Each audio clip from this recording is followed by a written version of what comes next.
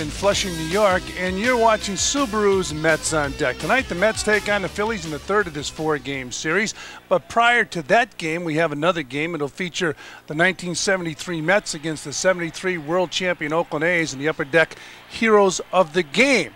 But before we talk about what's going on off the, I should say, on the field, let's take a look at what has happened off the field with the New York Mets. Darrin Jackson is now a Met coming down from the Toronto Blue Jays, even up for Tony Fernandez, who rejoins the Toronto Blue Jays where he started his career. Now, the Mets also made some other moves. They gave Paul Gibson his unconditional release, and they optioned to Norfolk Wayne Housie. Coming up from AAA will be Dave Telgheder and Kevin Baez. Now, as I mentioned prior to the regular scheduled game tonight, the Mets of 73 will take on the Oakland A's of 1973, and I mentioned the world champion. How did the Mets get into the World Series? Well, let's take a quick recap of that New York Mets season. When the 1973 baseball season began, New York Met fans were counting on a banner year. Finally, with enough offensive punch in their lineup, such as 23 year old slugger John Milner, New York appeared to be off to the races with a crack of the bat. The home opener sparked optimism. Tom Seaver was on the mound for New York, and catcher Jerry Grote was throwing them out on the bases. Cleon Jones opened the season with two home runs off Phillies ace Steve Carlton, and the Mets were victorious 3 0.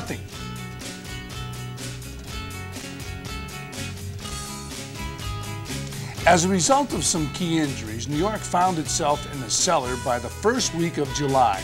Cleon Jones out for 50 games. Willie Mays missed 50 games. Rookie George Theodore missed half a season with a dislocated hip. Catcher Jerry Grote out for 56, and shortstop Buddy Harrelson was sidelined for over 50 games. With Tug McGraw urging his teammates on with You Got to Believe, the Mets did just that.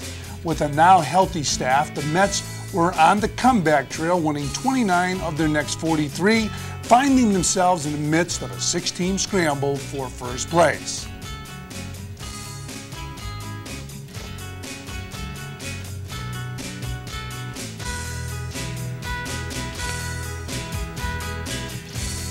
And it was Tug McGraw who put it all together for the Mets. In his last 19 games, the lefty was unstoppable with 12 saves and 5 wins and a stunning 0.88 ERA.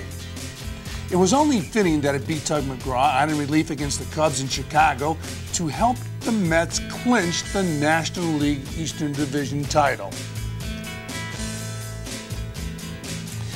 Next stop for New York was Cincinnati to face the National League West champs, the Reds. After splitting the series in Cincinnati, the Mets returned to Shea for Game 3. The Mets made it easy for Jerry Koosman by scoring nine runs, and Coos coasted to a 9 2 win. The Mets led two games to one.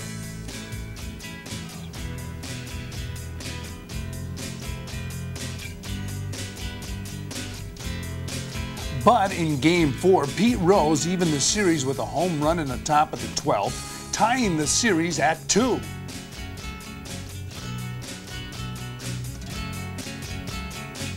It was Tom Seaver on the mound for the Mets in the fifth and deciding game.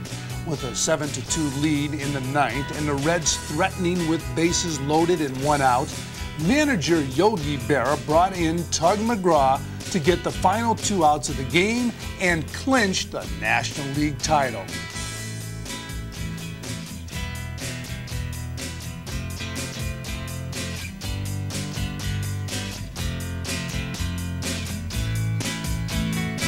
Stay with us. When we come back here to Shea Stadium, we will reminisce with Red Foley.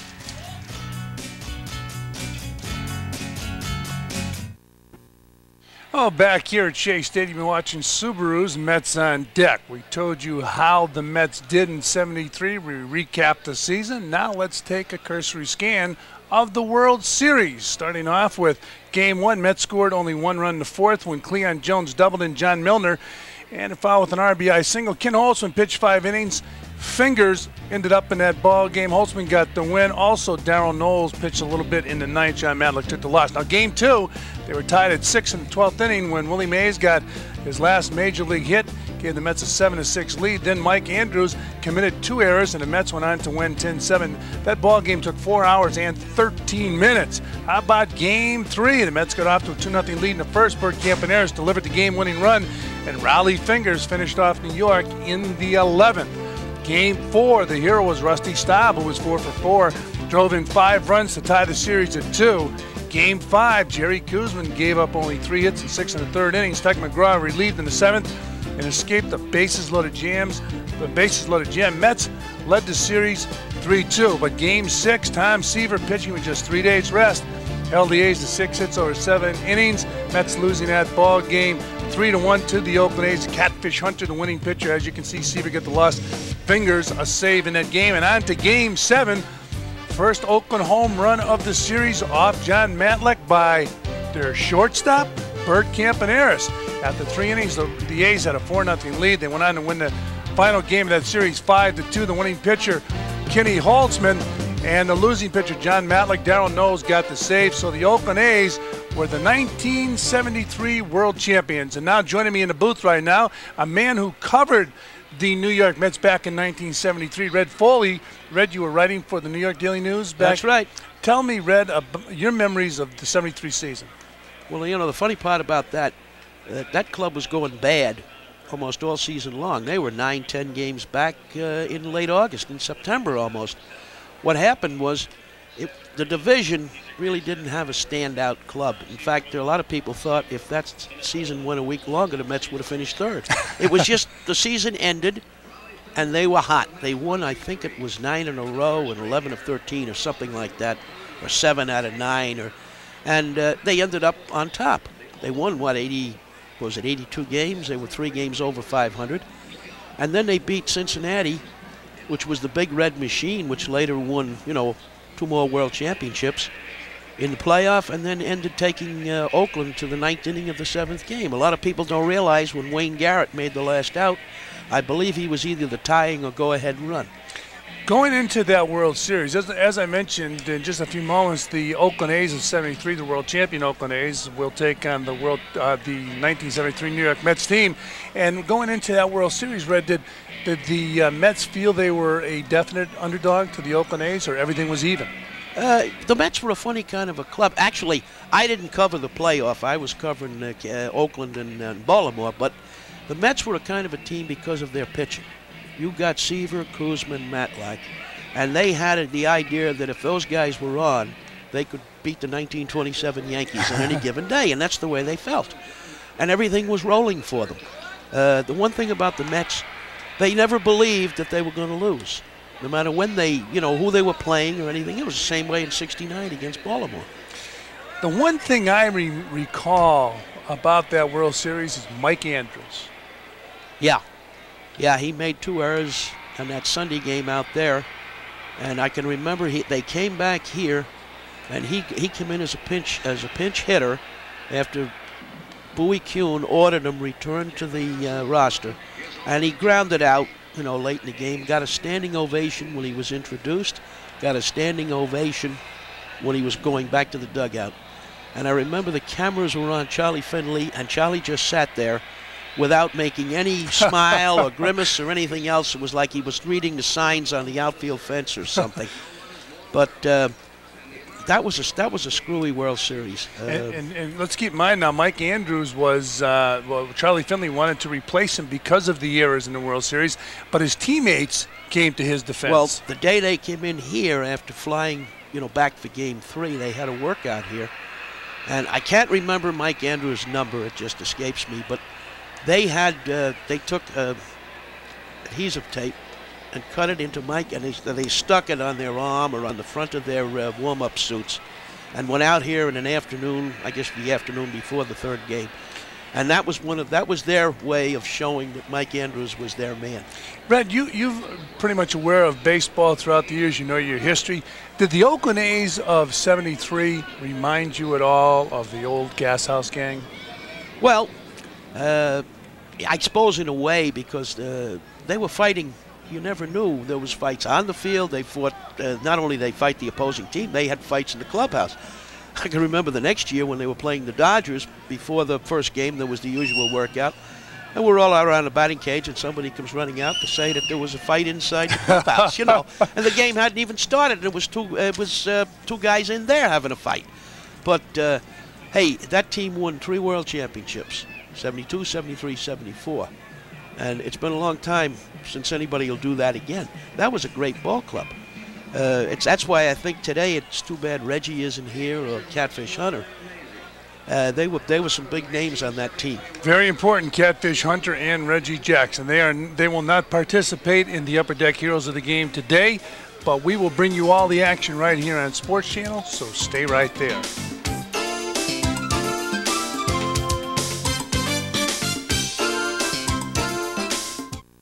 Subaru Mets on Deck is brought to you by Vacation Connecticut. We're full of surprises. When the weather heats up, there's only one place to be.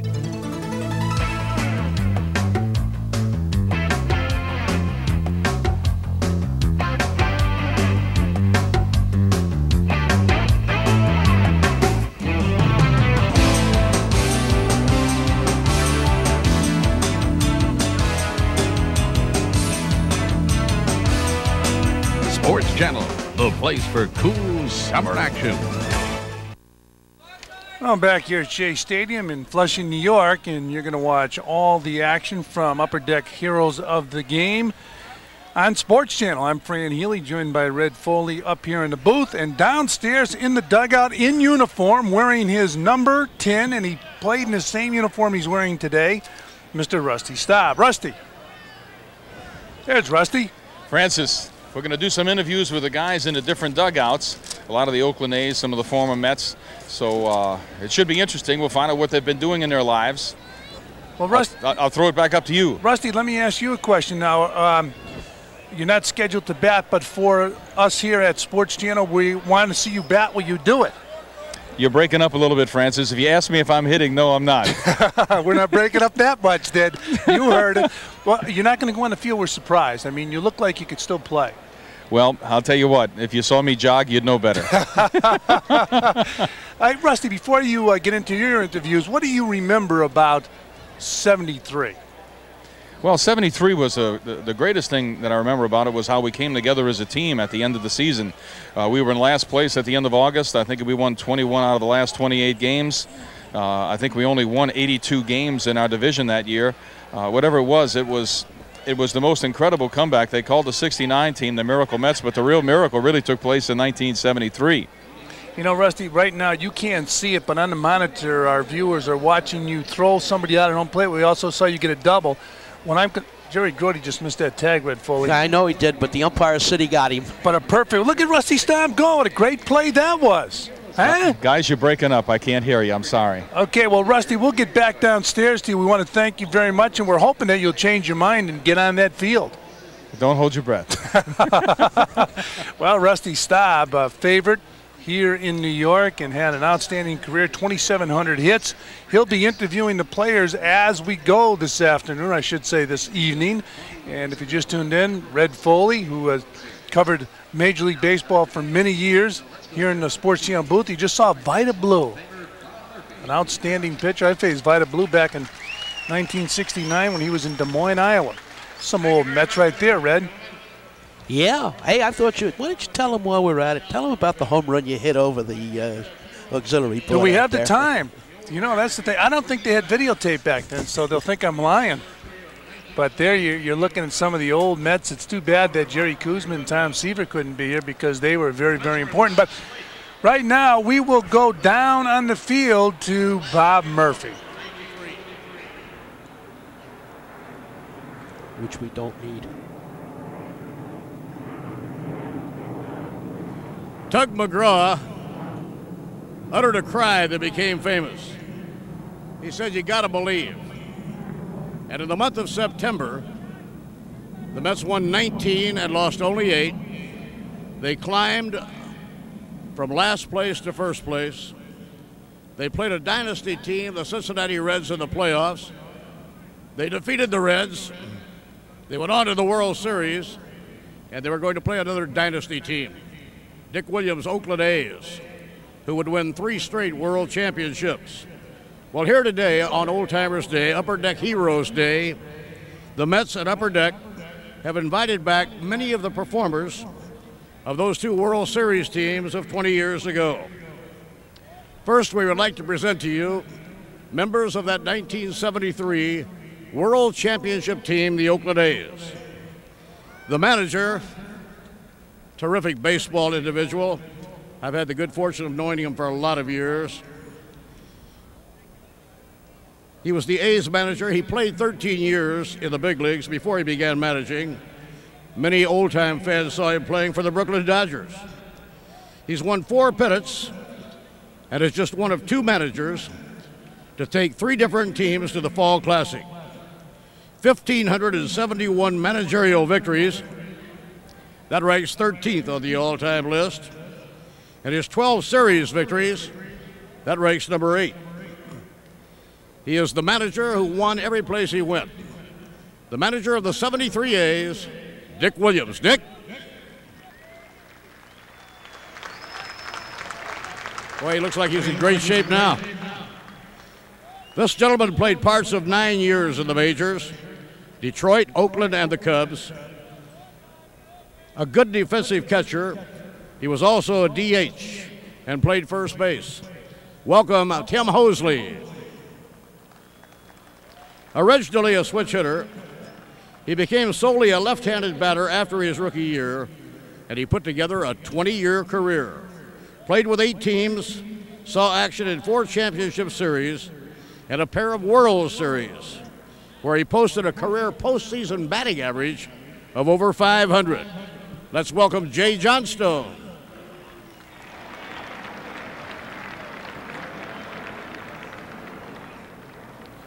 A slick fielding infielder, he played in nearly a thousand games with the Brewers, the Cardinals, Rangers, Padres, and the A's. A solid member of the A's championship teams from 72 through 74. Here is Ted Kubiak. The regular center fielder for the A's in the heart of their 70s dynasty, twice led the American League in stolen bases, 54 and 74, 75 and 76. He hit 273 in five years with Oakland. Also played for the Dodgers in the 78 World Series. And he stole 395 bases in 11 years. Here is a great speedster and base stealer, Billy North. A two time All Star in 67 and 69. He hit exactly 200 homers in a 13 year career, and that included two World Series appearances. In his final career at bat, in the 1972 World Series, he had a game tying single in the eighth inning of Game Four. He got it off a man they called the Hawk, Clay Carroll. And now here is Don Mincher.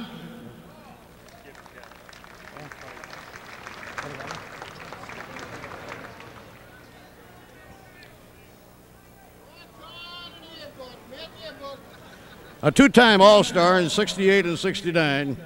He was in the majors just three months after graduating high school. What a start he had. He was 15 and 6 for the World Champion A's in 72, a member of the 73 and 74 teams as well, a 13 year major leaguer with five different teams.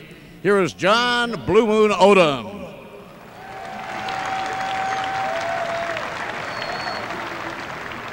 This player hit 330 for the Milwaukee Braves in 1964. One of the eight 300 plus seasons he had. In his career, he improved that mark with a National League leading 366 in 1970. And that included a 31 game hitting streak. He hit 299 over 15 years in the big leagues. And he finished just two hits short of a career 300 mark. He was truly a magnificent hitter. Rico Carty.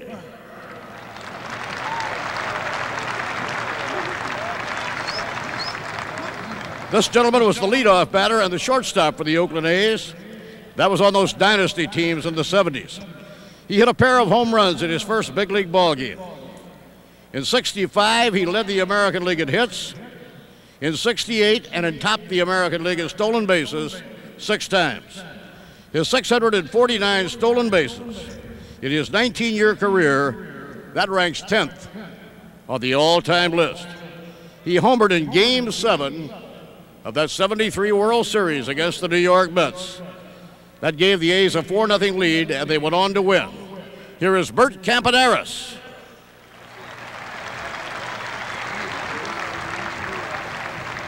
He earned 143 saves in his career. Now, that was good for 13th on the all time list at the time he retired. That was after the 1974 season. In 73, and many Met fans will remember this, he became the only pitcher ever to appear in all seven games of a World Series. He earned a pair of saves in the A's triumph over the Mets. In 1972, his ERA was 1.36. Ladies and gentlemen, here is Darold Knowles.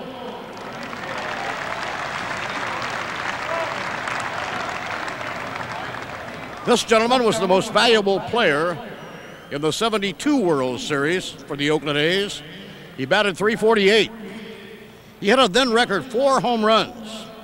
He played for 14 years in the major leagues, and he finished his career with 201 home runs. He is now a coach with the world champion Toronto Blue Jays, Gene Tenace.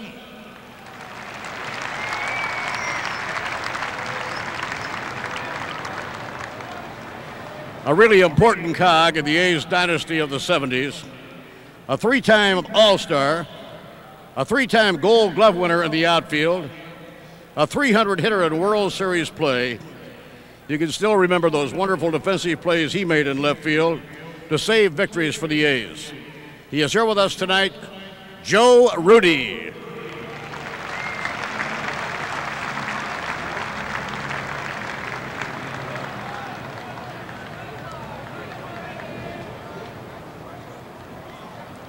In 1970, he led the American League second baseman with a 1994 fielding percentage.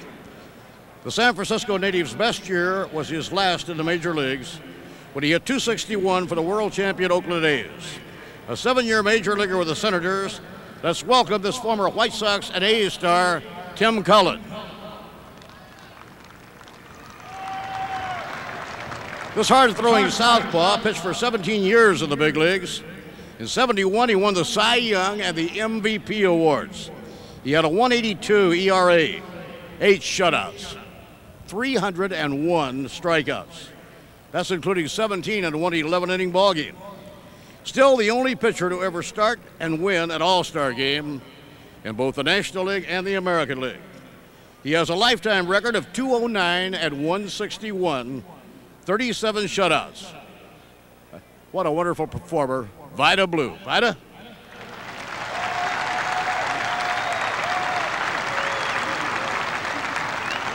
And tonight's 1973 A's team features a member of the Hall of Fame.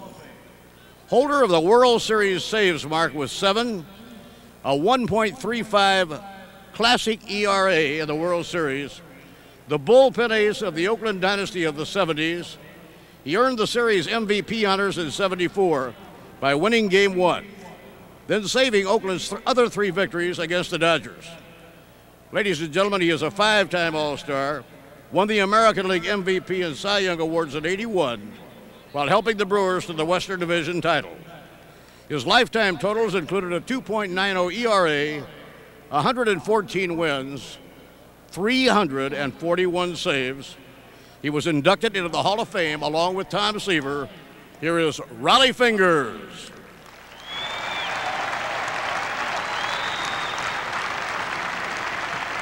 There they are, ladies and gentlemen, the 1973 World Champion Oakland A's. And now let's meet the 73 New York Mets. Tonight, the Mets manager played for the Dodgers, A's, Giants, and Mets. He retired as a player and became the bullpen coach for Washington under the late and wonderful Gil Hodges. He moved himself to the New York Mets in 1968 and was here for many, many years as an outstanding coach. From Brooklyn, Joe Pignatano.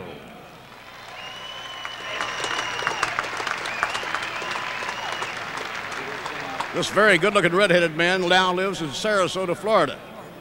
He homered twice in the 73 World Series. He started the 69 League Championship Series with a 385 mark. He played mostly at third, but every now and then you'd see him at second base when you needed a big hit to drive in a big run. You wanted to see Wayne Garrett. Wayne?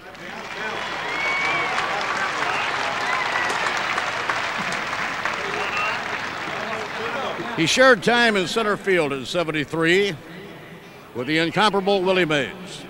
In seven years in the majors, he played for the Expos, Phillies, Mets, Cardinals, and Padres, seeing action all over the outfield. He could run and he could really shag him. Don Hahn.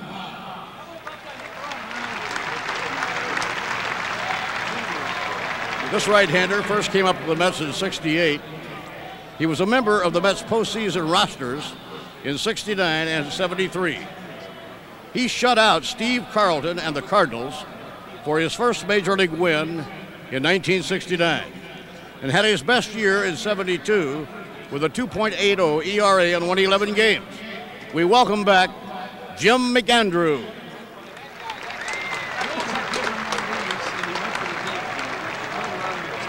This tall, thin left hander was acquired by the Mets in the winter before the 73 season, and he had his best year for the National League champion Mets. He went 12 and 3, including eight straight wins, and that helped New York jump from last to first. He pitched three innings in the World Series and did not allow a run. Coming here from his home in Louisiana, welcome home, left hander George Stone.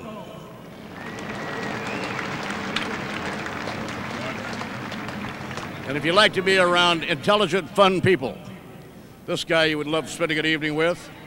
His major league career consisted of two years with the Mets, 73 and 74. But he was a key backup outfielder with that 73 championship team. He saw action in two games during the World Series against the A's. We all knew him as the Stork. Of course, his real name is George Theodore.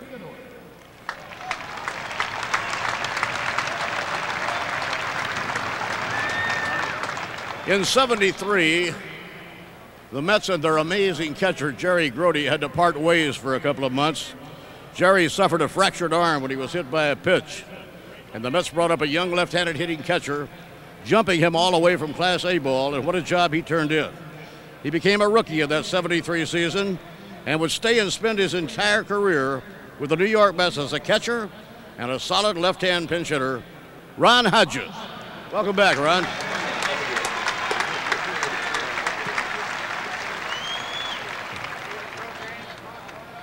This delightful personality won 20 games for St. Louis in 64. Now, that was a championship team. By the way, that year, the pennant race, there were five teams still fighting for the pennant the last weekend of the season. He threw nearly 2,500 lifetime innings, appeared in four games of that 73 World Series. He had a save in game four. We're delighted to have back with us tonight Ray Sadecki.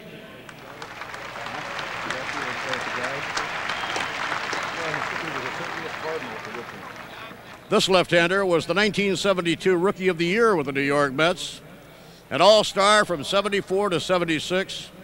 He won 14 games. He had 205 strikeouts in 73. And in the league championship series, after the Mets and Tom Seaver got beat 2 to 1 in game one, he came back in game two and shut out Johnny Bench, Pete Rose, Tony Perez, and the Big Red Machine. He allowed them exactly two hits. He also won a game of the World Series. He won 125 games in 12 years. His home now is in Arlington, Texas. Here is Jon Matlack.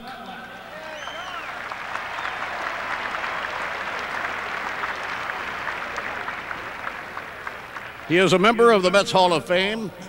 He came right out of high school, played his entire 18 year major league career with the New York Mets as a very classy first baseman. In the waning years of his career, he became the best pinch hitter in the National League. Welcome back, Eddie Kranepool.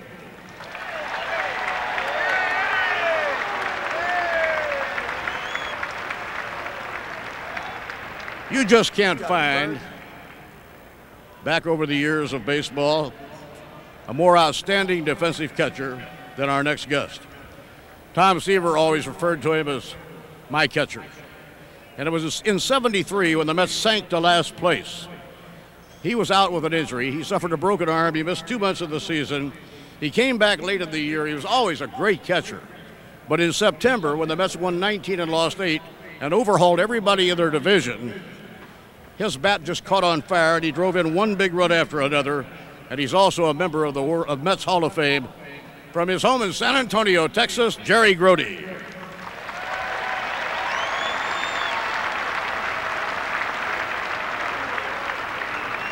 In their history, the Mets have had very few players with more talent than our next guest. And in 69, that magical year of the first championship, he batted 340.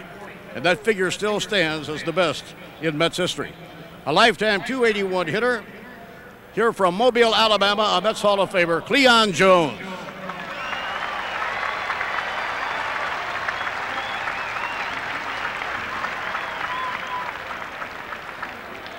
If you've been a Met fan for a while, you remember that in that 73 series when the Mets were playing the Reds, pretty good fight broke out around second base by a pretty good shortstop and somebody named Rose.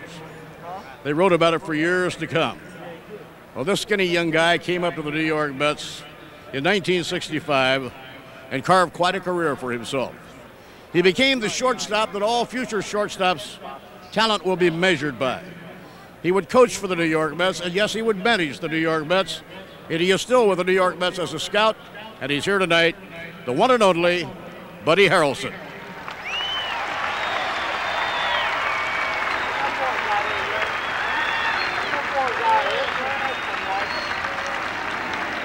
Known as the Cat. This gentleman was a three time All Star and a two time Gold Glove winner in a 12 year career as the second baseman with the Braves and the Mets. Certainly one of the best trades the Mets ever made was when they acquired him in a swap with the Braves. He was the toughest man in the league to strike out. And I'm happy to say that his son, Bernie, is now playing for the St. Lucie Mets and having a dynamite year. But a real all star is back with us, Felix Millan. Felix?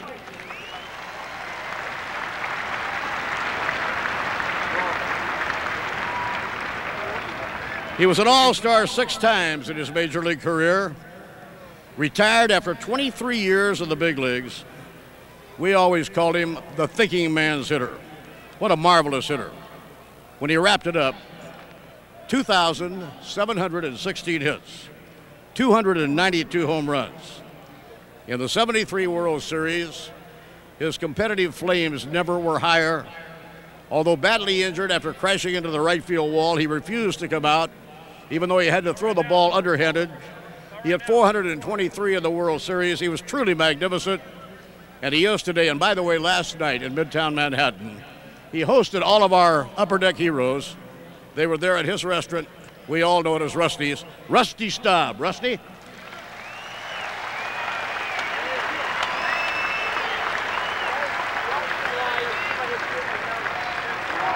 I hope I didn't miss anybody. And if not, ladies and gentlemen, these are the Upper Deck heroes on hand. And I think all of you know what a wonderful job Upper Deck does in presenting these old timers games, and that it goes to the monies that are raised through this and donated by Upper Deck go to help many ball players and their families from another era when big money was not paid and people that can really use the help. It is really a marvelous project. Now we have the old timers game coming up. Relax and enjoy it, and thank you very much. All right, stay with us. When we come back, we'll take a look at the old timers do their thing.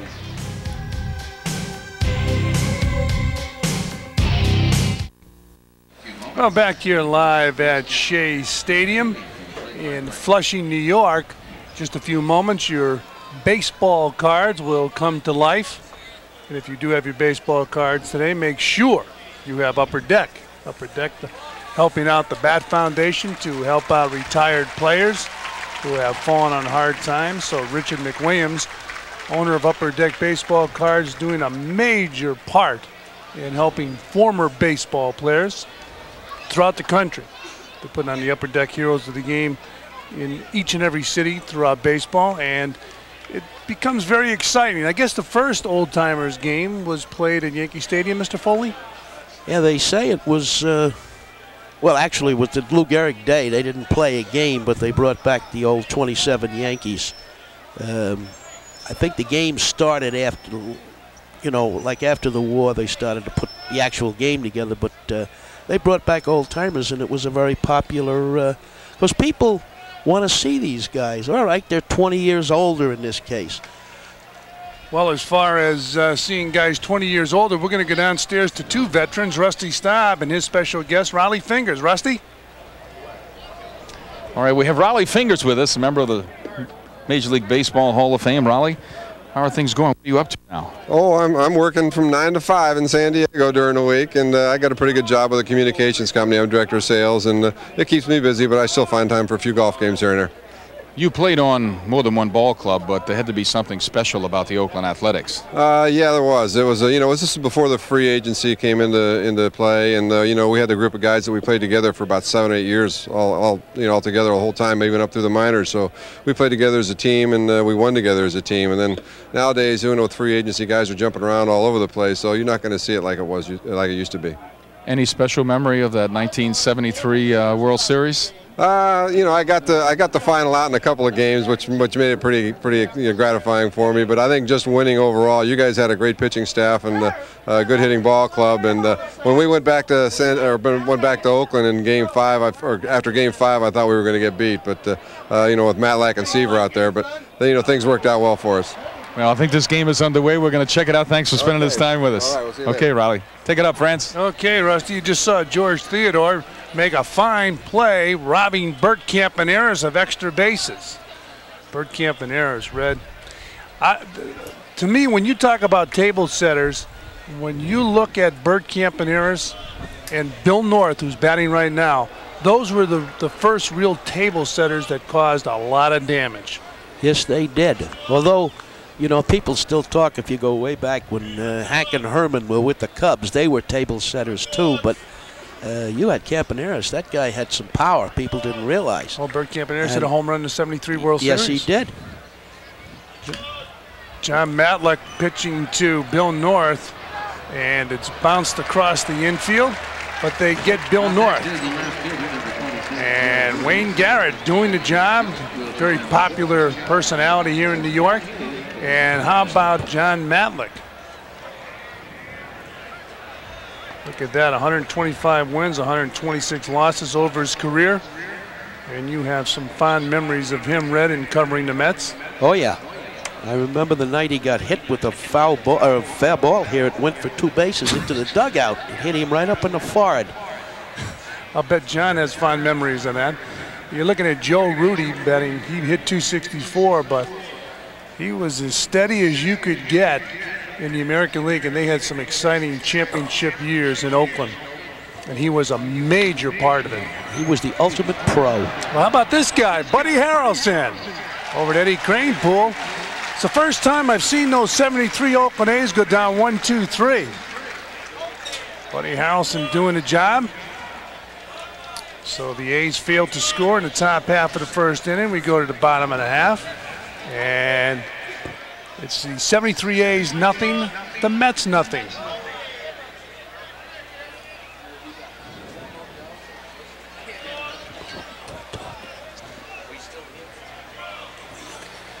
So you're looking in at oh, the New York Met dugout from the 73 World Series. Exciting times here in New York, but I mentioned to you in the opening, Red, the one thing I remembered was Mike Andrews' fiasco. Boy, was that something. Mike Andrews was a good player. It's too bad he had to put up with that abuse. And of course, Charlie Finley, um, if he was trying to unite his ball club, he did a nice job of it. Yeah, he did it of uniting them, or yes. uniting them against, against him. him. Yeah. no, that was that was really a sad uh, that was a sad occasion. The guy was hurt. Yeah, he was hurting.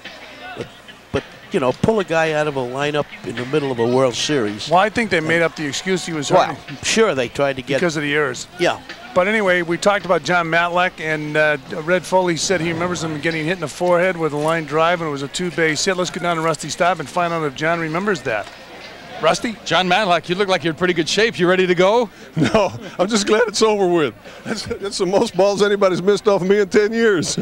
now, you are in baseball still, right? Yeah, that's correct. Um, well, where are you? Pitching coach in the White Sox organization in Sarasota, Florida State League. In reminiscing about 1973, what's the things that stand out for you? Oh, coming back from getting hit in the head. Uh, Was that the year you got hit in the head with a line drive? In May, May 8th, got hit in the forehead, fractured my skull. Managed to come back with that without too many problems. I don't think, none that I know about anyway. And just the, the way the team came together toward the end of the season. We scuffled, never really got buried, but never really played well until the last six weeks, and then everybody sort of gelled and things worked well, and we won, and it was a great feeling. Good to have you with us. It's good to see you. Take care, man. Okay. Francis? Okay, Rusty. You're looking at one of the hardest throwers ever to toe the rubber in the major leagues, Vida Blue.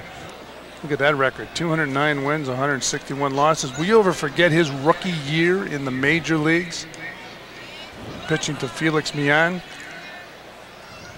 Vida Blue dominated American League hitters for many years, and there's a chopper to third. Long throw, and they just do get Felix Millan. So Tim Cullen over to Don Mincher. Two men are gone here in the first inning for the Met Old Timers. I shouldn't say old timers.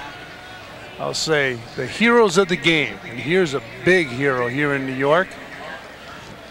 Cleon Jones, Red. Oh, Cleon. Highest average ever put together by a New York Met. And you're looking at footage of Cleon Jones back in 73, and there he takes a strike. You'll notice something about old timers games. They look the same as they did then, except everything is in slow motion. Well, this guy was never slow. Vida Blue. Well, he could bring it.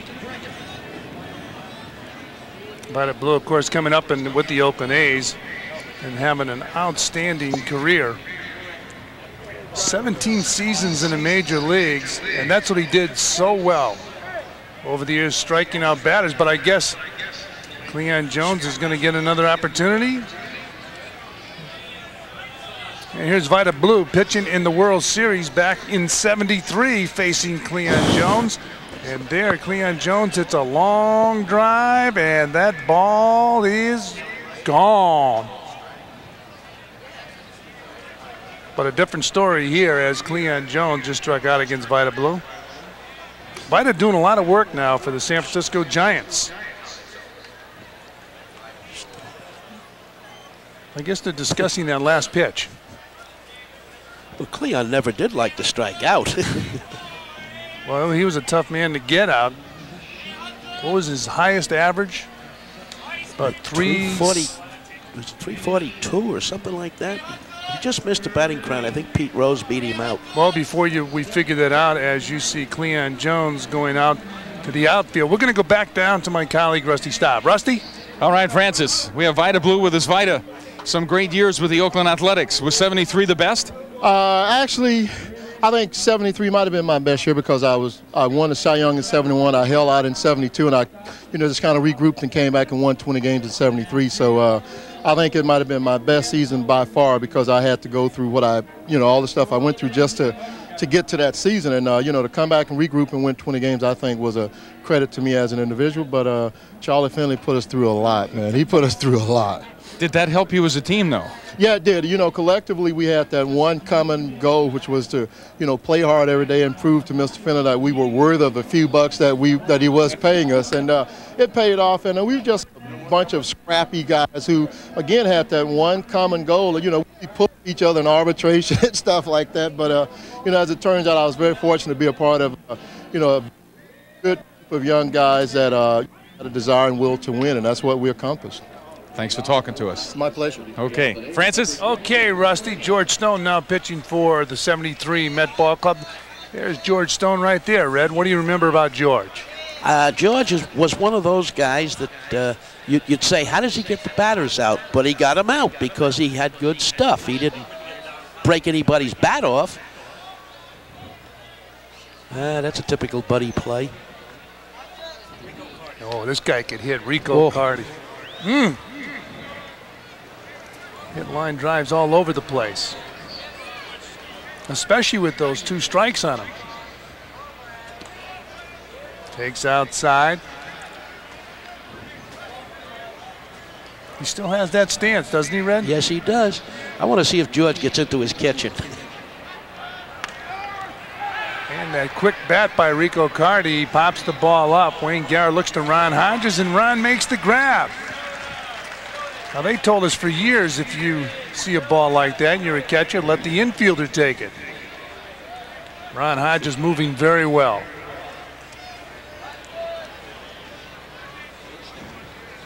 There's some footage of Ron Hodges coming out of the chute. Perfect throw to second base. And the batter now for the Oakland A's, Don Mincher.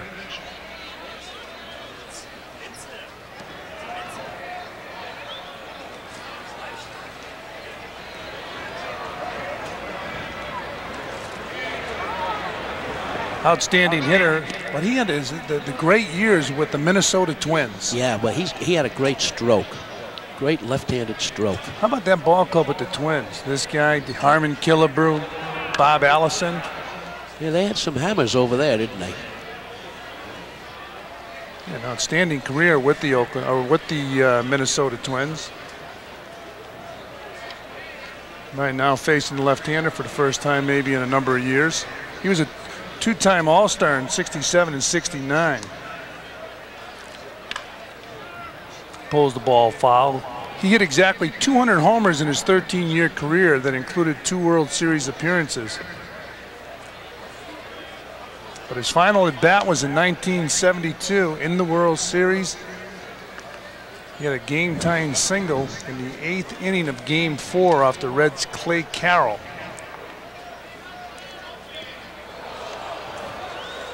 And he strikes out. You didn't see him do it very often in those days with the Minnesota Twins. That was a George Stone pitch.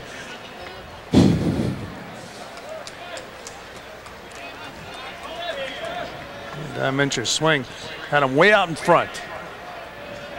Keep in mind, none of these guys had the opportunity to take batting practice. Maybe this gentleman right here, Gene Tenace, coach with the world champion Toronto Blue Jays. Boy, talk about a clutch player. Some pretty good stats 201 home runs, 674 RBIs, and they all meant something with this guy.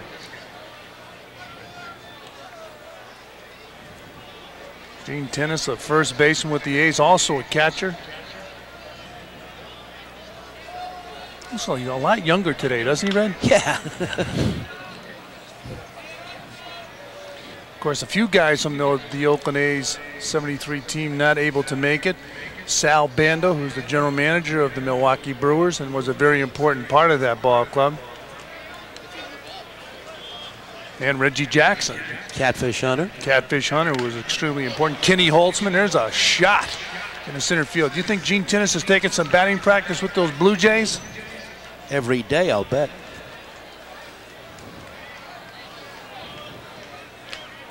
Here's that compact stroke by Gene Tenace.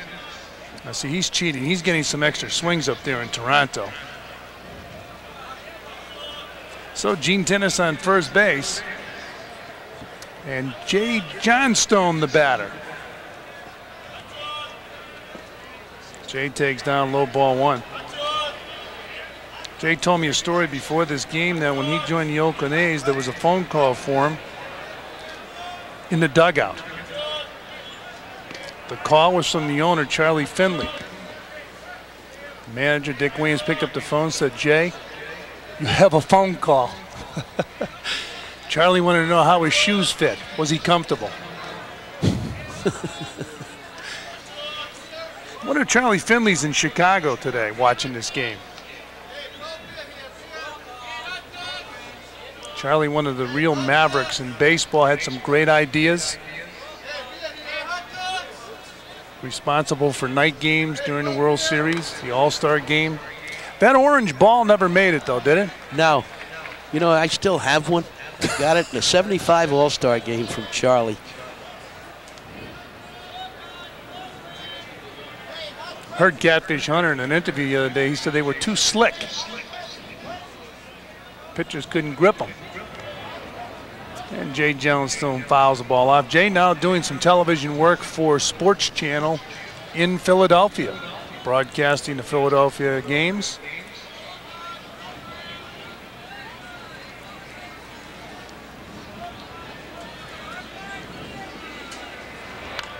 And there's a looper in the center field, so Jay Johnstone picking up a base hit. Gene Tenace with that great speed all the way to third.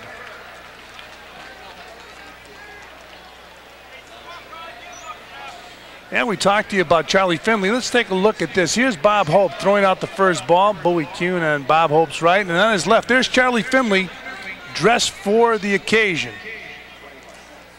The only thing missing is the donkey. what is the donkey here at, at Shea Stadium today? and now Ted Kubiak.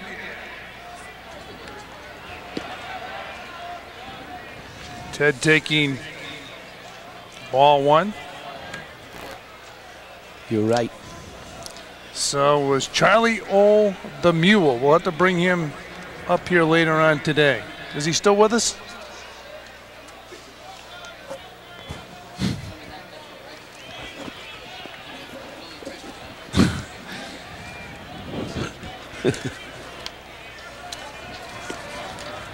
and Ted takes outside again.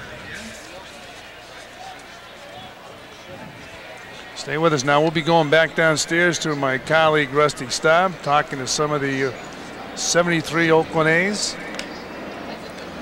And ground ball up the middle. Buddy Harrelson doing a job. Over to Felix Millan. You saw that so many times during the 73 campaign. Oh boy, this guy can do it. And we're going to take a look at that again. Buddy Harrelson, who holds a clinic on the Dynamite Show, which you see right here on Sports Channel, flipping to Felix Millan, doing it the right way and getting the job done. And a well-played ball game so far by the 73 Mets and the 73 Oakland A's. You see no score. We're in the middle of the second inning. Some great memories from that World Series. It went seven games. How about this name right here? Blue Moon Odom. Charlie Finley gave people nicknames. In fact, Catfish Hunter will tell you when he signed, Charlie Finley was at his house. Said, Do you have a nickname? He said, No. He said, You can't play in the big leagues without a nickname. So he gave him one, Catfish.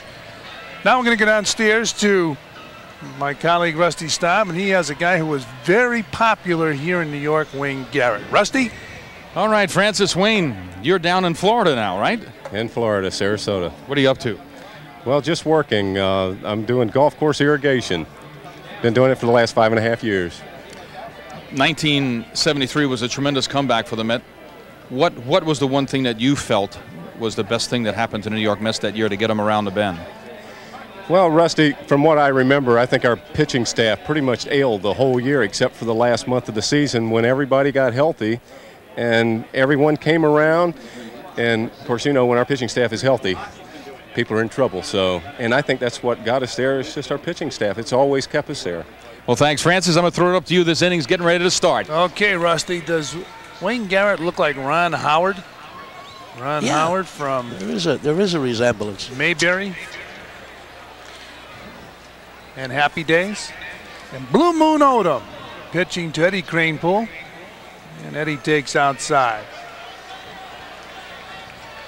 Eddie played in four games in that 73 World Series. He fouls the ball off. Very popular personality here in New York. A lucky guy. He played his high school ball, set all kinds of records here in New York, and we're taking a look at some footage of Eddie Kranepool's career. Back live, and Eddie takes the ball. A lot of memories with Eddie Kranepool, Red. I'll tell you one thing about Eddie. He was a guy that he was 18, 19 years old. He could tell you what every pitcher in the league would throw to him. He knew how they were going to pitch him. And he hit that ball there, and he hits this ball here, a base hit for Eddie Kranepool.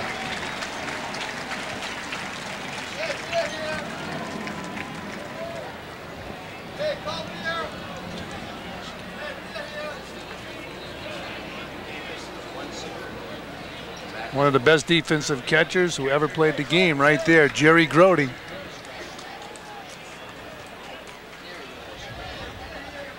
Jerry, an old teammate of Rusty Staub's in Houston. And they ended up playing on the same team together here in New York. There's some old time footage of Jerry, number 15, coming out of the chute. Perfect throw.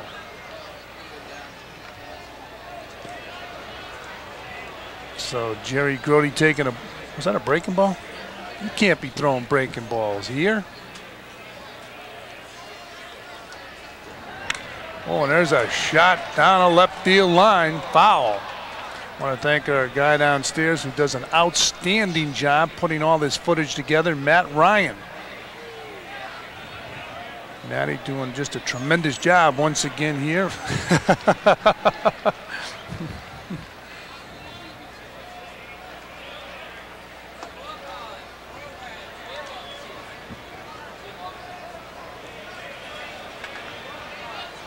Jerry was with the Mets 66 to 77, and he hits the ball hard foul. Do you ever see a better throwing catcher than Jerry Grote Red? No. He was a great receiver and had a great arm. Worked that pitching staff very well. Scored two runs back in that 73 series. And he loops the ball into right field, a base hit. Jay Johnstone getting the ball back in.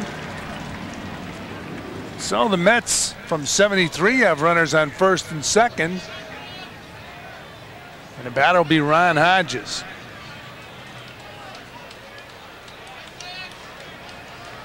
Stay with us here on Sports Channel coming up.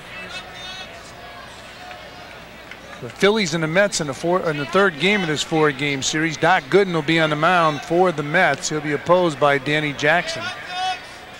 And Ron Hodges taking the ball.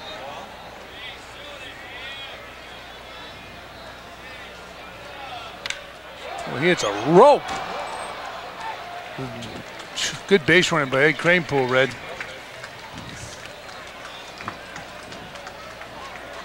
Well, he never took too much of a lead. Ron Hodges blocking home plate. Some some footage of Ronnie doing the job.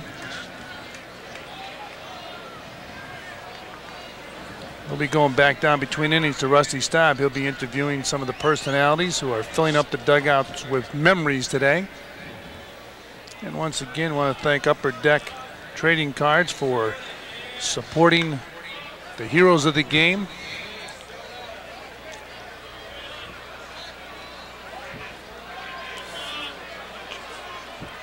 George Theodore, who missed quite a bit of the 73 season with a dislocated hip, Red. Yeah, he had that collision in the outfield. Stork, he could swing the bat. And became a popular personality here in New York. They had a lot of popular personalities in New York back then. Here's George Theodore. Nice play.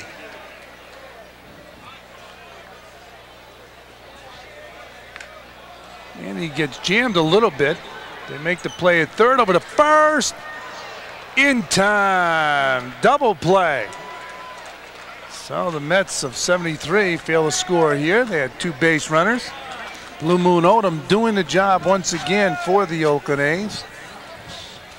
And we go to the top of the third inning. Still no score. The A's and the Mets.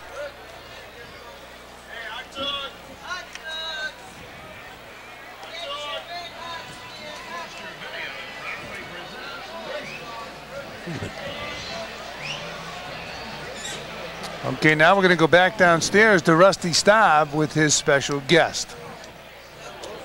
All right, I'm here with Gene Tenace. Now, you've had a, a, really unusual thing. Not only were you the hero of 72, you were there 72, 3, and 4. Was it more exciting for you to be on a team that won or to coach last season when the Blue Jays won? Well, uh, it's obvious to be on a team that won, obviously, but you know, being the first time that uh, I was on a club that, as a coaching end of it, and was able to win a world championship was very exciting for myself, plus the people that are that are with the Blue Jay organization for 16 years, been trying to win this thing, and finally last year, the reality came true for them, and uh, it was a, it was really exciting for the people in uh, Toronto. Well, 72 probably stands out than 73 for you, but you hit a great run with them. Thanks for talking with us. We're going to check this inning out here. Okay, my pleasure. That's Okay. Francis? Okay, Rusty, and a new pitcher, Ray Sadecki. Won 20 games for the Cardinals, 1964 championship team. He's had a lot of success in his major league career.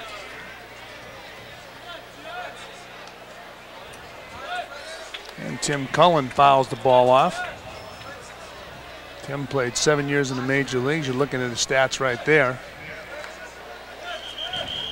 And right back to Ray Sadecki. He flips Eddie Kranepool, one down. It's amazing how quick Ray is. Huh? And we're going to take some, take a look at some footage of Ray pitching a few years back there with the Mets. We remember about Ray, Red. Sadecki, he was a he was a, a good left-handed pitcher, but he was a character. He and Rube Walker could make anybody laugh.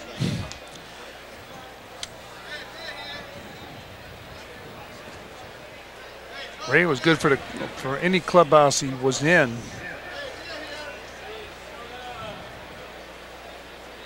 So look at Tim Hosley batting against Ray Sadecki. And Tim hits a ground ball to short. Buddy Harrelson gets him. He's ready. You heard about that trade? Tony he was Fernandez? always ready. Tony Fernandez now in Toronto, and Buddy Harrelson is trying out today. And here's a guy who can play shortstop.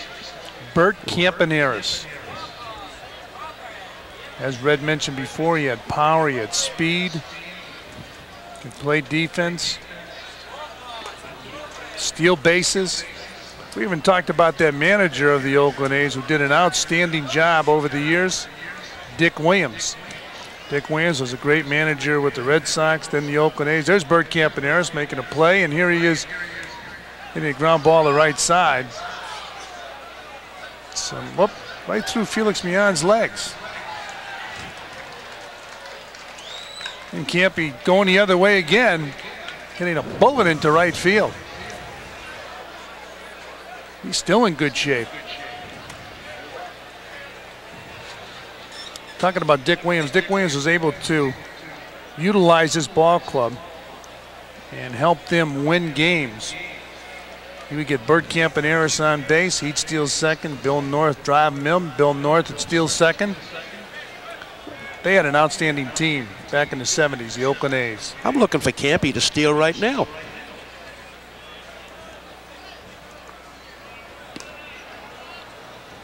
There's a strike. Bill North hit 285 for those 73 A's. Had 53 stolen bases in 73. And he appeared in 146 games.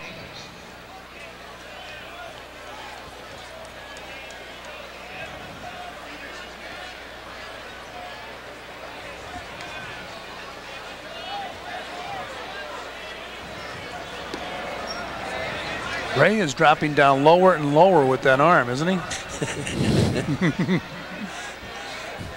His knuckles are going to be scraping the mound.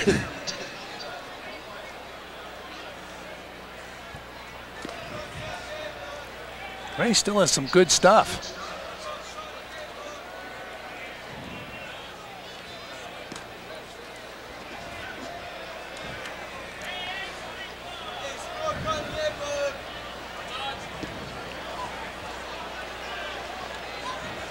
Bill taking another pitch from Ray Sadecki.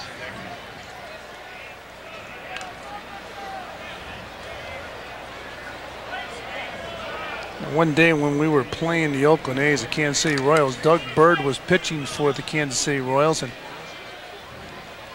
Bill took a swing at a ball, and a bat flew out of his hand, went out by the pitcher's mound. Everybody was just talking around home plate, and Bill went out to get the bat, and all of a sudden, he was in a fist fight with Doug Bird. It started in the minor leagues. oh, he didn't like him from the last picture, huh? There's Dick Williams.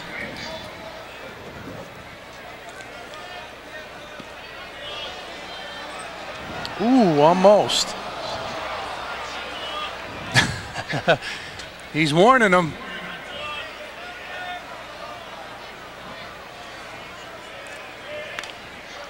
And Bill North hits a fly ball to the right side.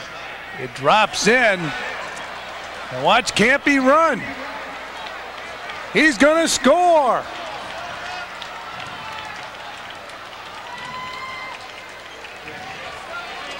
So Bill North with a triple, driving in Bert Campaneris. Boy, that looks familiar.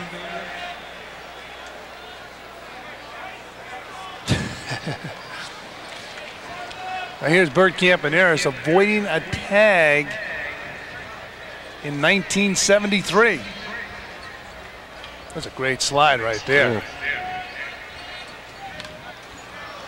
How about Rollie Fingers batting? Popping the ball up. Felix Millan making a grab, and that'll do it for the A's, but they pick up a run. We go to the bottom of the third inning here at Shea. Heroes of the game, old, the upper deck old-time heroes of the game as Ray Sadecki leaves the field. And it's 1-0 in favor of the Oakland A's from 73. Now we're going to take a look at a celebrated incident between the Cincinnati Reds and the New York Mets. Ground ball hit down to first base. Milner has it, throws to Buddy Harrelson. One to first, double play! Fight breaks out. A fight breaks out. Pete Rose and Buddy Harrelson. Both clubs spill out of the dugouts. And a wild fight is going on. Jerry Koosman's in the middle of the fight. Everybody is out there. Buddy Harrelson and Pete Rose got into it. Rose apparently thought that Harrelson had done something in making the double play. Rose outweighs Harrelson about 35 pounds. And now... Well, there's Buddy Harrelson down in the med dugout, and we're going to go down to the med dugout to Rusty Staub. Rusty? Well, a quick question for George Theodore. Stork, that was a long way out there. I got bad news for you, Rusty. I pulled a muscle. I think you got to go out there. that dog ain't going to hunt. But we're getting ready to start this inning, George. Good to have you with us today. It's great to be here. Okay, Francis, let's start this Okay. Rusty. Upper deck heroes of the game. Don Hahn.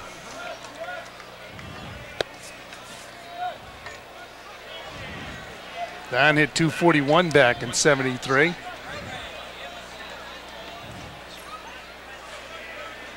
That was a 73 series.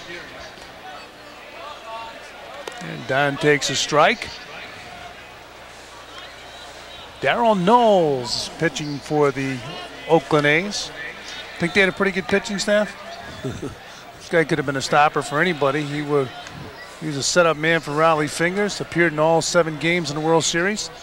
He um, just an outstanding pitcher. How about the starting staff for the Oakland A's back then? Catfish Hunter, Kenny Holtzman, Vida Blue. Foul out of play. Then things got tight late in the game. Of course, they had Blue Moon on them. Things got tight late in the game, and came Rollie Fingers.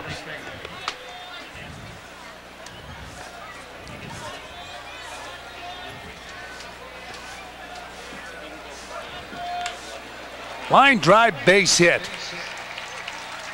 So Don Hahn picking up a base hit. That's trying to get back in this game. Losing right now by one run. Buddy will punch the other way. Well, Buddy showed us he could he could play shortstop right now. We'll see if he can still hit.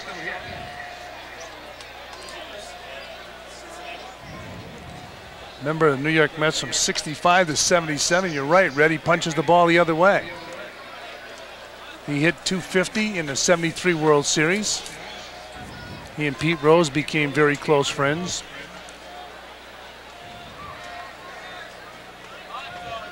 Outside, Buddy was a, won the Gold Glove in 1971.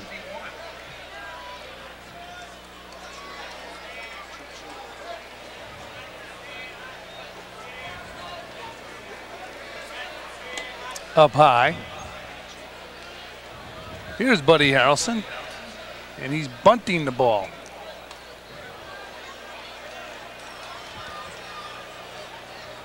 About those old pirate uniforms in that footage? Yeah, with the vests. Mm.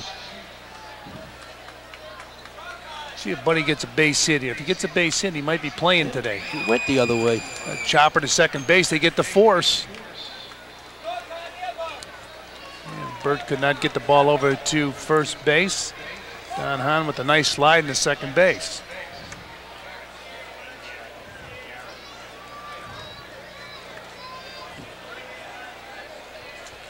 Inside to Wayne Garrett. Is that Wayne or is that Ron Howard? Ground ball base hit into right field. And Buddy Harrelson holds on to second base, so Wayne Garrett still swinging the bat well. Buddy used to go to third on those.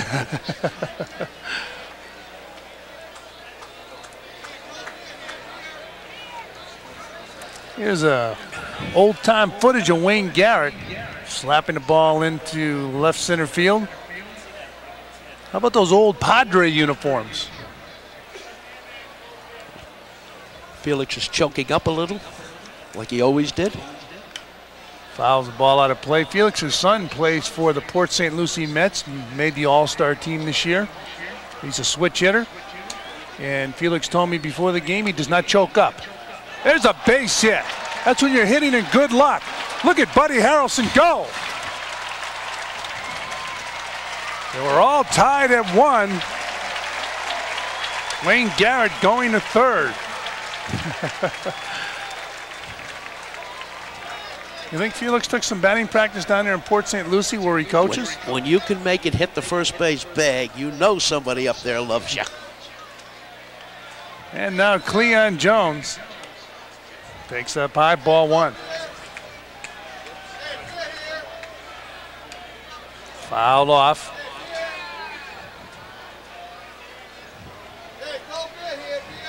And we'll see, take a look at some old footage of Cleon Jones. Hits the ball hard right there and over the center field wall.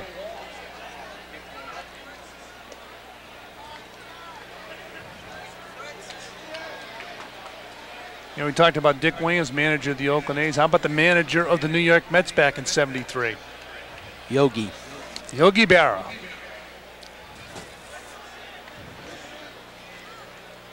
Outside to Cleon Jones. And back in 73, two phrases were coined that became nationally famous. You got to believe. And it ain't over till it's over. I can also remember one night somebody come in and said to him, it was Cleon or Milner, I forget which, couldn't play tonight. And Yogi says, why are the guys who get hurt are always the ones you need?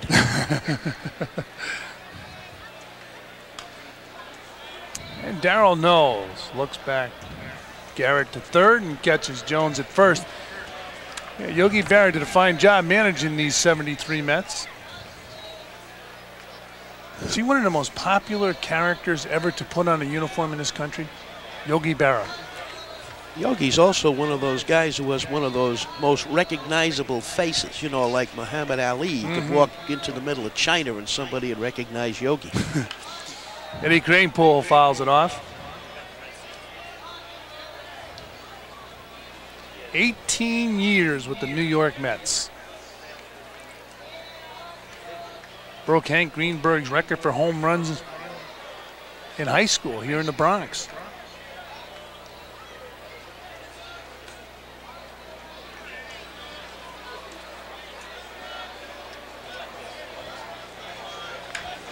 How about that? A shot down a left field line.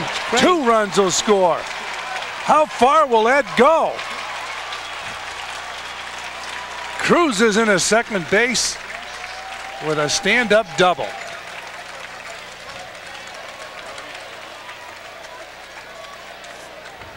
And here's some old footage of Eddie Kranepool going for a double.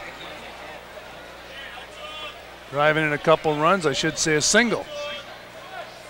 And Jerry Grote fouls the ball off. Crane knew how to use the whole field.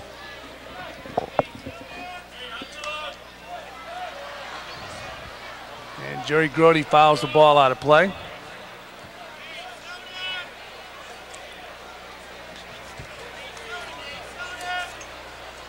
Well, what a trade the Mets made, bringing Jerry Grote to New York. How important did he become to the ball club? Now, Bert Campaneris boots the ball, goes to Oh, third. that's- And Eddie Kranepool's safe. So Campy trying to cut down Eddie Kranepool at third base. It's one of his rare errors. You know what? You didn't see many of those back in the 70s.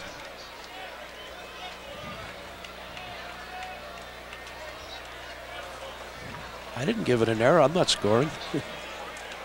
Red Foley has been an official scorer for how many years? About 26. And Ron Hodges hits a high fly ball. And nice play, so that'll do it for the Mets. But they pick up two runs here in the third inning. And we've played three, and it's 3 1 Mets.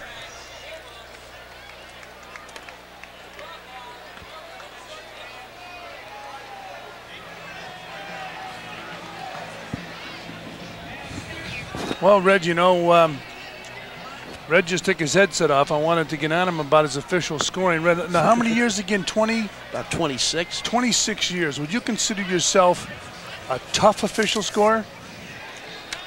I don't know what's tough. I mean, uh, Would you give a hit or a break? uh, it's not a question of a break to me, Fran. We don't make incorrect calls. We make unpopular ones. Well, that's true. There's Let a me- difference. Well, let me ask you, would you take a bribe? No. Well, let's take a look. A famous play. The 2-1 pitch. Hit in the air to left field. It's deep. Back goes Jones by the fence. It hits the top of the fence. Comes back in play. Jones grabs it. The relay throw to the plate. They may get him. He's out. He's out at the plate. Could have started play- selling the playoff tickets when that happened. Well, Rusty Staub is downstairs with a fine relief pitcher, Darold Knowles. Rusty? All right, Francis. Darold Knowles when I see you, I think of Game Six and three of the greatest pitches I saw back to back in my career that you struck me out on. I appreciate you saying that. I really do. Obviously, I didn't throw any of those tonight. I couldn't get anybody out, but that's the way it goes. But that was a great, uh, a great World Series we had, and I was lucky. You had a good, a good series.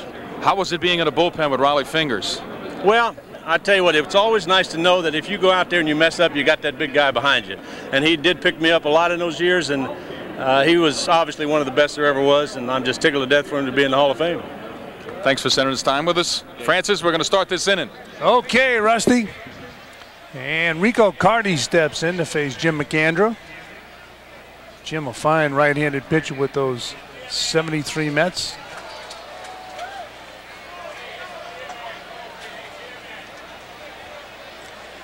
Rico Carty's with the Oakland A's, 73, 78. Fouls the ball back. 15-year major league career. Career average 299 and it was a very hard 299.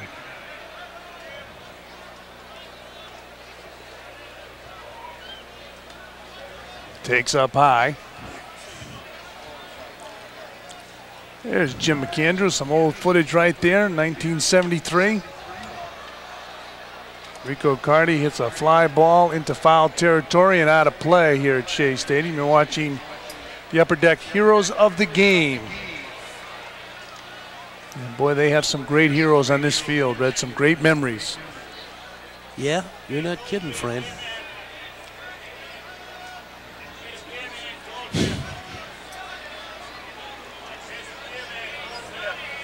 Rico Carty back in 1970 led the National League with a 366 batting average, and he hits a rope in a left center field. That looked familiar. Used to be a two base hit.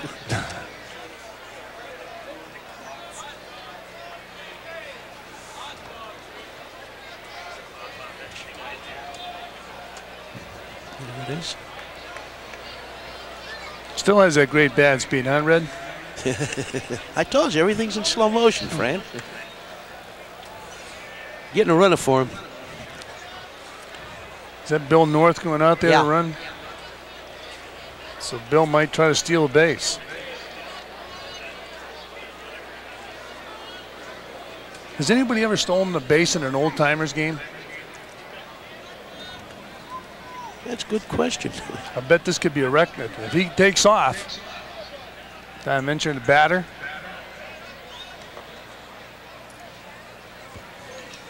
As we mentioned before, Don, a 13-year major league career and had some marvelous seasons with the Minnesota Twins. He must have been on that Twin Ball Club when Catfish Hunter threw a perfect game against the Twins. They had an outstanding hitting ball club. Was, was it 67, 68? He threw that perfect game? Uh, it was the late 60s, I know that. Pulled foul. But imagine throwing a perfect game against that Minnesota Twin offensive lineup. Like I said, they had some hammers in that lineup. Well, they had Killebrew, Allison, Oliva. Was Carew up by? He was up there by then. Yeah, he probably yeah. Rich Rollins. It was interesting watching uh, Rusty Staub interview Vida Blue before. The way he came to the major leagues, all the fanfare. Charlie Finley really blowing it up. And then Charlie, remember the big day they gave uh, Vida a Cadillac? Is it? But he's going to turn a double play. Four, six, three, double play. We saw Felix and Buddy do it so many times back in 73. And take a look at it again. Ball hit hard. Felix with those soft hands flipping to Buddy Harrelson. Buddy throwing a bullet to first base.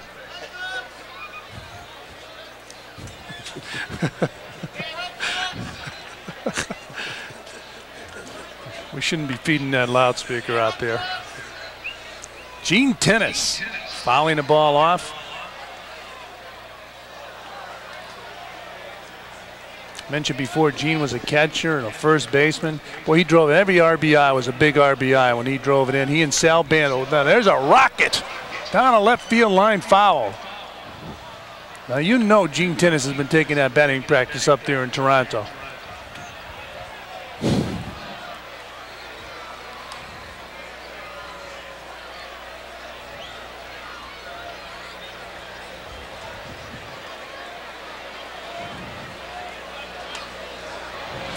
Outside the Gene Tenace.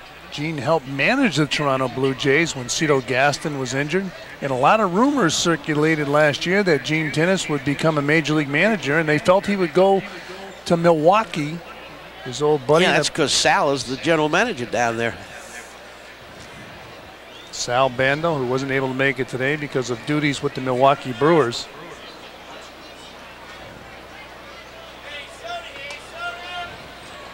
Gene Tenace takes up high. Gene spent 15 years in the major leagues.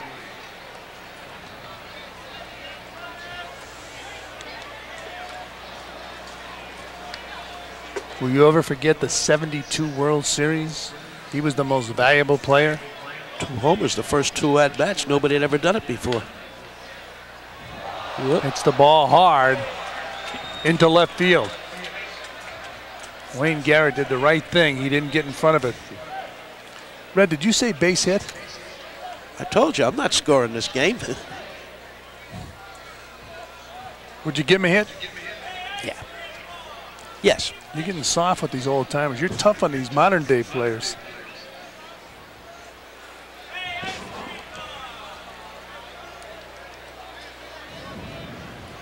Did you ever have a problem with any of these players on a, when you were official scorer?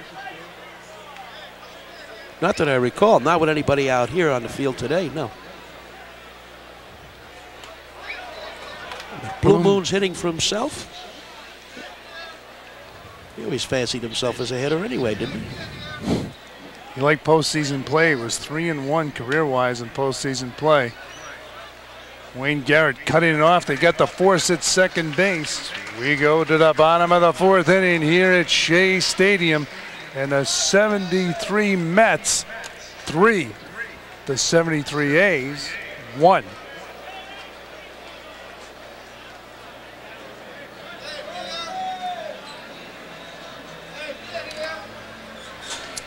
So, Red, talking now. Let, let, me let me get the scoop. We cannot. Um, nobody's listening to us over the um, PA system here at Shea Stadium. Did you ever have a problem with these guys? You ever have to like push them against the wall and say, I'm not taking this anymore? Go ahead, No. come clean. They won't. No, none of these guys on the field. I don't recall having any problems.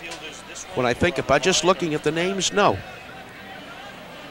Okay, we're going to let Red think a little bit more about this, and then I'm going to get Yeah. back into this. And we're going to go downstairs to my colleague Rusty Staub, who's with Don Hahn. Rusty, Okay, Francis. Don, it took forever to find you. Where have you been all these years? Oh, geez, I've been hiding in San Jose, California, out fishing and hunting and working a little bit. 73 has to bring back some great memories for you. Yeah, it was a great, great year. a Great year. One of one of the base years in baseball I remember, you know, of all time. We had a great team. We had a great year, and uh, I was fortunate enough to get to play in a World Series. A lot of guys don't get that chance. Well, we wish you all success as things go on here. We have a game to do, so Francis, I'm going to throw this back up to you. Don, thanks for joining us. Thanks a lot, Rusty. Yeah.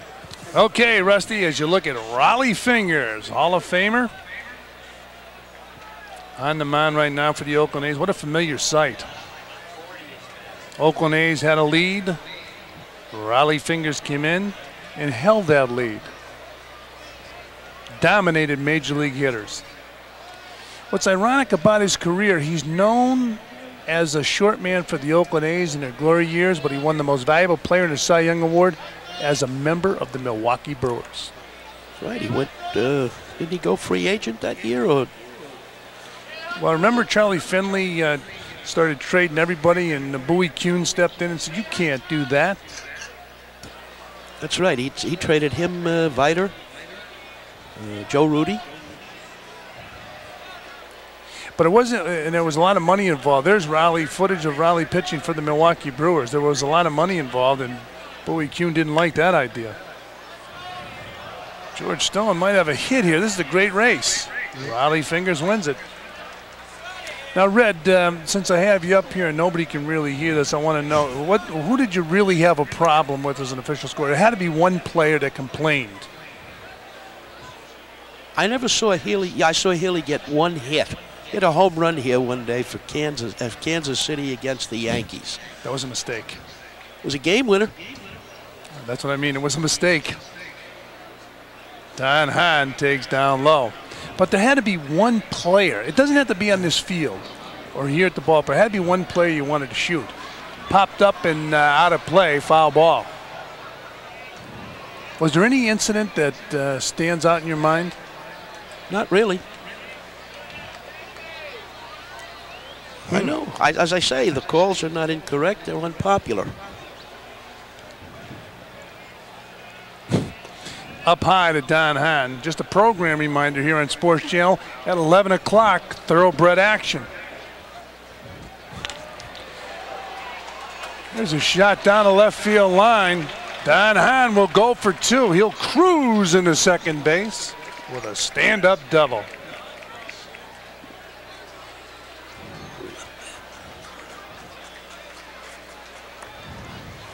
So Don Hahn on second base, and Jim McAndrew will be the batter. Jim pitched in 23 games for the 73 Mets, and he hits a high fly ball to left field.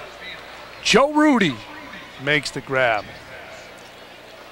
Well, he's an outstanding defensive left fielder and a fine, fine offensive player. Here's a shot at Joe Rudi going against the wall. Yeah, it was a 72 World Series. Cincinnati Reds. Yep. And Wayne Garrett pops it up. Rollie Fingers taking charge and makes the grab for out number three. So that'll do it for the Mets. Here in the fourth, they fail to score. We've played four, and That's that it. should be the final. So a lot of fun here for the 73 Oakland A's and the 73 New York Mets. And nobody got hurt. Some fond memories for the fans here at Shea Stadium.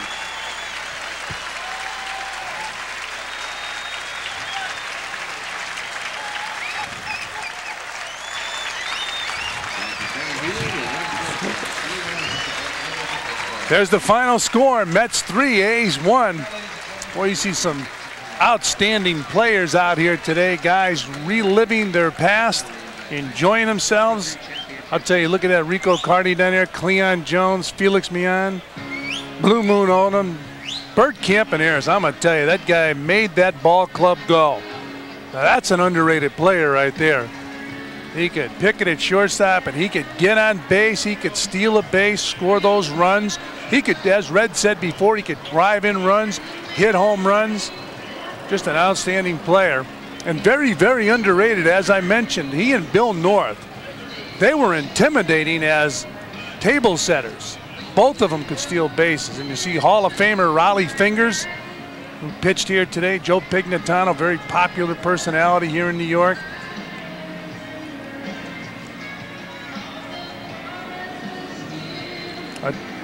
A musical tribute to the old timers, and we'll be back with more.